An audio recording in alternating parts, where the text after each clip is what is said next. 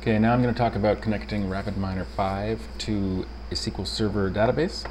Um, we're going to look at using a named instance as well as connecting via uh, Windows authentication. So a few things you want to check. If you're running SQL Server on your local machine, then uh, you should check to make sure the SQL Server browser service is running. So hit the start button, go to run, type in services.msc, hit OK. This opens up your services window. Okay, go to uh, SQL Server browser, make sure that's started. Okay, that's RapidMiner needs that to, service to be running in order to find your SQL Server. Okay, you should also go to SourceForge JTDS. Okay, if you want to use Windows authentication, you should download uh, the latest JTDS driver.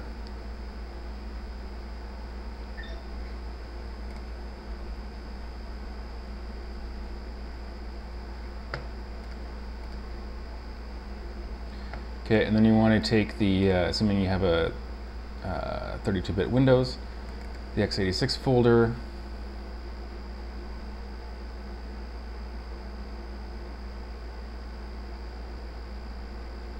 SSO folder, and the NTLM, so New Technology LAN Manager Authorization, DLL. Okay, you want to copy that, and then put it in your Windows System 32 folder. Okay, and just paste it in there. And that will allow for JTDS uh, Windows authentication. I'm just going to close all that up.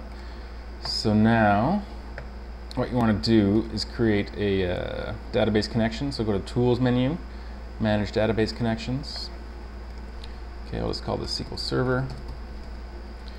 Uh, Microsoft SQL Server JTDS. Host is the domain name or IP address. In this case, just localhost.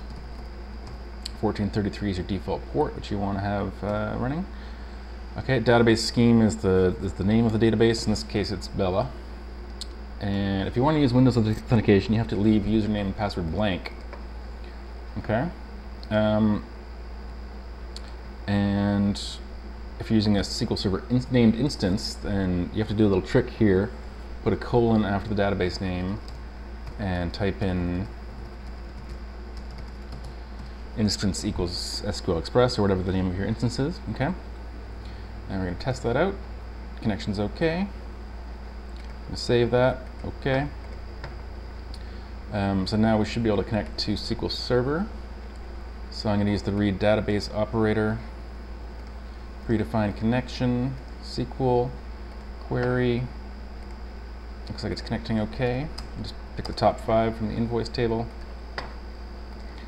Output to the results window. Hit OK. Boom, and there you go. Okay, you get five examples.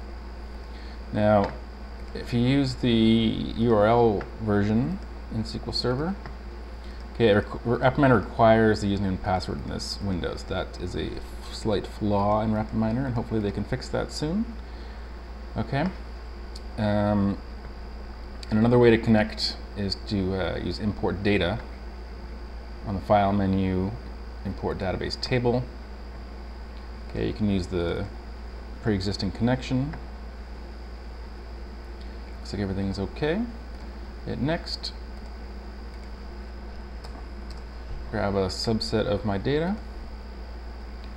Next. Okay, and well, I already did this before, but we'll overwrite it uh, and put it in the uh, database uh, folder of my repository. Finish, and you're done. So,